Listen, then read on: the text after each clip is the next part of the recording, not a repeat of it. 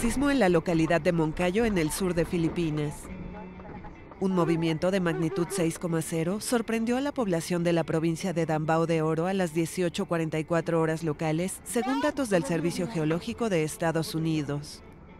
De acuerdo con las autoridades, no se reportó ningún daño importante, pero se pidió a la población ponerse a resguardo ante posibles daños y réplicas.